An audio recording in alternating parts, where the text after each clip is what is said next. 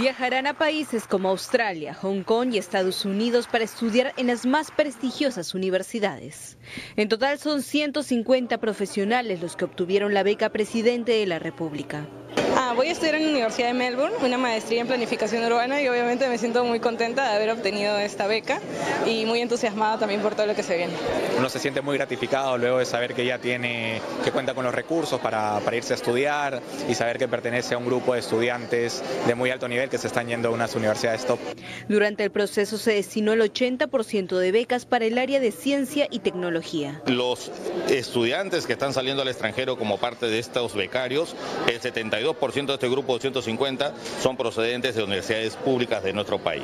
La beca que garantiza la educación de los talentos peruanos es financiada con los impuestos de los ciudadanos. El Estado en los últimos seis años ha destinado más de 256 millones de soles. Es los impuestos que recaba de los ciudadanos y que han sido recaudados por Ciudad.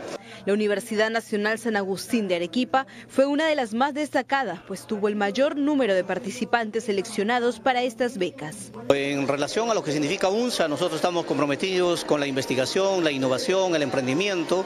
Eh, venimos trabajando más de 170 proyectos de investigación. La beca otorgada a estos profesionales que estudiarán un posgrado en el extranjero cubre el 100% de sus gastos. A su retorno deberán cumplir con el compromiso de servicio al Perú durante un máximo de tres años.